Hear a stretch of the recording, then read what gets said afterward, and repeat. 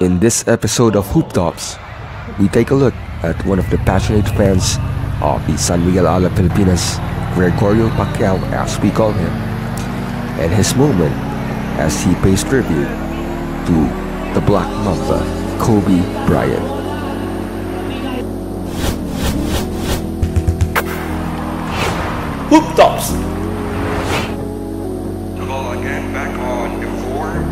Miss Gwyneth Dorado, to sing